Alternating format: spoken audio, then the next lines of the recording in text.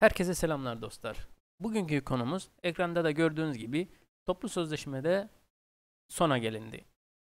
Bu habere göre arkadaşlar yarın yani 23 Ağustos itibariyle saat 14'te bu görüşmelerin sonuçlarının açıklanacağı söyleniyor.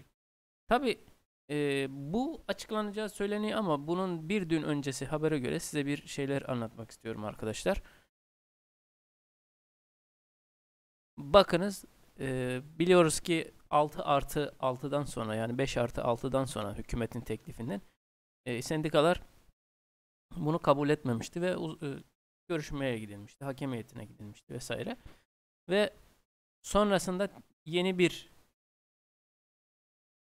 e, tutar gelmeden personel sağlığın haberine göre bu tutarlarda hükümet çok da bir artış sağlamadan 5-6 artıdan 6 artı 7'ye 6 artı arttan 2023'ten içinde 7 e, artı 7'ye e, çıkaracağı söylenmiş. Tabi bunu e, hükümetin kendi ağzından duymadık biz bu tutarları. E, bazı haberlerden yola çıkarak söylendi ama geçmiş yıllara baktığımız zaman şunu görüyoruz ki biz sendikalar ne kadar bir şeyler söylese de hükümetin ilk teklifi geçerli olacağı bu benim şahsi görüşümdür.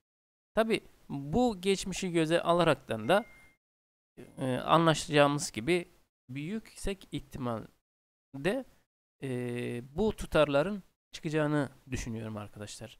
Neden bunu düşünüyorum? Bunun yanında dediğim gibi bir geçmişte yaşanan görüşmelerde çıkan sonuçları değerlendirdiğimizde ve de dünkü habere baktığımızda e, herhangi bir hükümet kanadından herhangi bir açıklama gelmeden medyaya lanse edilen tutarlar bu olmuşken ve arkasından herhangi yine sendikaların veyahut da hükümet tarafının herhangi bir resmi açıklama yapmadan bir gün sonrasında tutarlar belli oldu, uzlaşma sağlandı noktasında bir haber çıktığı için ben inanıyorum ki bu e, tutarlar bize verildi. Peki bu tutarlar biz memurlar için ya da sağlık görevlileri için yeterli mi? Kesinlikle yeterli değil. Yani bugün günümüzde sadece tek bir kalemde yapılan %20'lik bir ürüne tek bir üründe yapılan %20'lik zamma karşılık bize sadece dönemde %6 6 aylık dönemde %6 zam verilmesi hiçbir akla mantığa maalesef sığmıyor arkadaşlar. O yüzden şahsım adına ben böyle bir durumla mecbur yani devlet verdi alacak ama şahsım adına düşünüyorum ki bu kesinlikle yeterli değil. Bunu kesinlikle kabul edilemez buluyorum. Şimdi e, konunun başlığı noktasına geldiğimiz zaman ulaş, uzlaşma sağlandı dediği zaman tabii ki e, bu video 23 Ağustos sabah saat 10'da yayınlanacak. Ben e, bir öncesi akşam çekiyorum bu videoyu. O yüzden yarın diyor haberde e, 23 Ağustos pazartesi saat 14.30'da da hükümet e, açıklanacağı sonuçların açıklanacağını duyurdu. Yani bu net saat 14.30'da açıklanacak arkadaşlar. Şimdi bu toplu anlaşmanın içinde e, tabi ekstra gündeme gelen bir konu daha var. O da nedir? 3600 ek göstergenin de bu toplu sözleşme içerisinde geçeceği söyleniyor. Tabi bize ne kadar etki eder noktasına geldiğimiz zaman arkadaşlar günümüz şartlarında çok da bir etkisi yok. Çünkü 3600 ek gösterge arkadaşlar evet bir kazanımdır.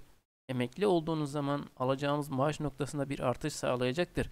Ama günü kurtarmak adına ya da günümüzde bugün aldığımız maaşları etkileme noktasına geldiği zaman çok da bir etki yaratmayacaktır maalesef. Ve burada bir geçen yine bir husus var ki 3600 ek gösterge sağlık sektöründe sadece hemşireleri kapsayan bir model olarak ortaya çıkmıştı ilk çıktığında. Umarım şayet eğer gerçekten de 3600 ek göstergeyi vereceklerse de tüm sağlık personellerine vermelerini umuyorum. Buna da başka bir açıklama getiremiyorum arkadaşlar. Videoyu çok uzatmayacağım. Ee, Şahsım adına kendi bireysel düşüncelerimi açıkladım ben burada. Yani bu e, söylediğimiz tutarlar kesin net tutarlar değildir. Tahmini tutarlardır. Ve bu tahmini tutarlar üzerinden de şahsi düşüncelerimi, bu konu hakkındaki şahsi düşüncelerimi size aktarmak istedim. O yüzden bu videoyu çektim arkadaşlar. Bir sonraki videoda görüşmek dileğiyle. Hoşçakalın.